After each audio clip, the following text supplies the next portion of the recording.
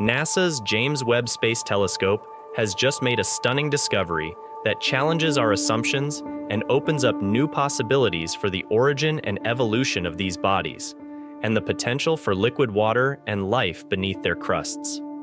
Webb observed two dwarf planets in the Kuiper Belt, Eris and Makemake, and found evidence of geothermal activity within their icy surfaces.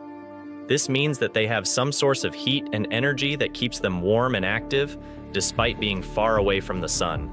This is the first time that isotopic molecules have been detected on the surfaces of Kuiper Belt objects, and it reveals a new source of geothermal activity and geochemical diversity in the outer solar system. In this video, we will explore how the James Webb detected methane on the surfaces of Eris and Makemake, what the methane reveals about the internal processes of these worlds, and what the implications are for the future exploration of the Kuiper Belt. So, if you are interested in learning more about this amazing discovery and how it could change our understanding of the solar system and the search for life, stay tuned and keep watching.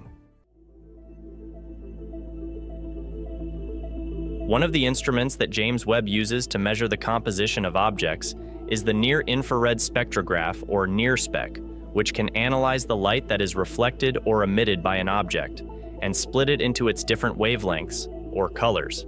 By doing this, it can identify the presence and abundance of different elements and molecules on the object's surface, based on their characteristic spectral signatures, or fingerprints. The team used the NIRSPEC to observe two dwarf planets in the Kuiper Belt, Eris and Makemake. Kuiper Belt is a region of the solar system beyond the orbit of Neptune, where millions of icy bodies, ranging from dust grains to dwarf planets, orbit the Sun. Eris and Makemake are two of the largest and brightest objects in the Kuiper Belt, and they were discovered in 2005 and 2006, respectively. They are both about two thirds the size of Pluto, and they have similar orbits, but they have different surface properties. Eris is covered by a thick layer of frozen methane, while Makemake has patches of methane and other ices on its surface. The team was interested in measuring the composition of the methane on the surfaces of Eris and Makemake, particularly the ratio of deuterium to hydrogen in the methane molecules. Deuterium and hydrogen are two isotopes of the same element, which means that they have the same number of protons, but different numbers of neutrons, in their nuclei. Deuterium has one proton and one neutron, while hydrogen has only one proton. This makes deuterium heavier and rarer than hydrogen, and it also affects the way that methane molecules vibrate and emit light. By measuring the ratio, James Webb team could infer the origin and history of the methane and compare it with other solar system bodies. They found that the D to H ratio of the methane on the surfaces of Eris and Makemake was moderate, about 1.5 times higher than that of Earth's ocean water and lower than that of comets and other Kuiper Belt objects. This was surprising, because it indicated that the methane was not primordial, meaning that it was not inherited from the original cloud of gas and dust that formed the solar system, but geochemical, meaning that it was produced in the deep interior of the dwarf planets by some geological or chemical processes. How can methane be produced in the deep interior of the dwarf planets? and what does it tell us about their internal structure and activity? To answer these questions, we need to understand what geochemical processes are and how they can generate methane from carbon and hydrogen in the rocky cores of the dwarf planets. Geochemical processes are the interactions between different elements and compounds in the solid, liquid, or gaseous phases under various conditions of temperature, pressure, and pH. These processes can result in the formation or transformation of different minerals and molecules, depending on the availability and reactivity of the elements and compounds involved. For example, carbon and hydrogen can combine to form methane if they are present in the right proportions and under the right conditions. But where do carbon and hydrogen come from in the rocky cores of the dwarf planets? And what are the conditions that allow them to form methane?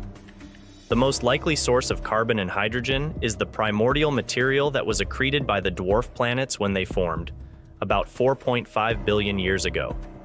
This material could have contained organic molecules, such as amino acids, sugars, and hydrocarbons, that were delivered by comets, asteroids, or interstellar dust.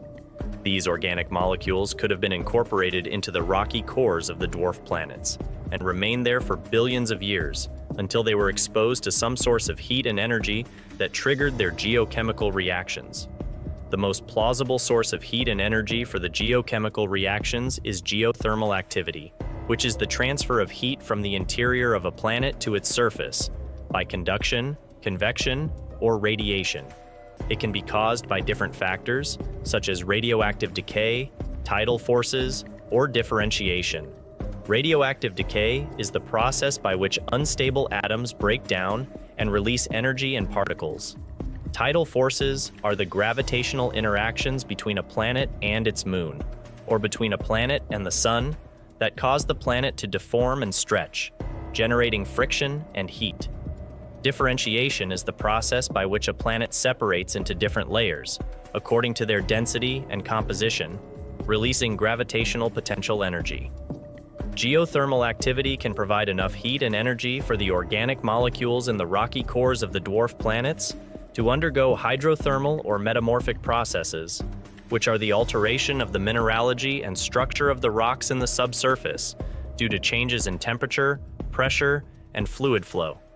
Hydrothermal processes involve the circulation of hot water or other fluids through the rocks, dissolving, transporting, and precipitating different minerals and molecules. Metamorphic processes involve the solid state transformation of the rocks without melting due to changes in temperature and pressure. Both processes can create and transport methane to the surface, where it can freeze and accumulate as ice, forming the icy crusts of the dwarf planets. Why is this discovery important for the field of planetary science, and what are the implications for the future exploration of the Kuiper Belt? This discovery shows that the Kuiper Belt is more diverse and dynamic than previously thought, and that there may be more sources of geothermal activity and geochemical diversity in the outer solar system. It also suggests that there may be liquid water and organic molecules beneath the icy surfaces of some Kuiper Belt objects, which are key ingredients for life as we know it. This also expands the range of possible habitats and scenarios for the origin and evolution of life in the solar system. For example, liquid water and organic molecules are essential for life as we know it, and they have been found on several worlds in the inner solar system, such as Earth, Mars, and some of the moons of Jupiter and Saturn. However, the outer solar system is much colder and darker, and it was assumed that the Kuiper Belt objects were too frozen and inert to harbor any signs of life. So this discovery challenges this assumption by revealing that some of the dwarf planets have warm and active interiors, where liquid water and organic molecules could exist or be produced. This means that the Kuiper Belt objects could have subsurface oceans or lakes, similar to those of Enceladus or Europa, where life could have emerged or survived, or where prebiotic chemistry could have taken place. It also means that the Kuiper Belt objects could have exchanged material and information with each other, or with other solar system bodies, by impacts or collisions, potentially transferring life or its building blocks across the solar system. These questions are not easy to answer, but they are worth exploring because they could reveal new insights into the nature and distribution of life in the universe.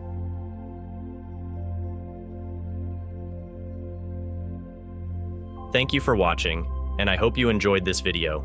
If you did, please like, comment, share, and subscribe to my channel, and stay tuned for more videos about the wonders of the universe. See you next time.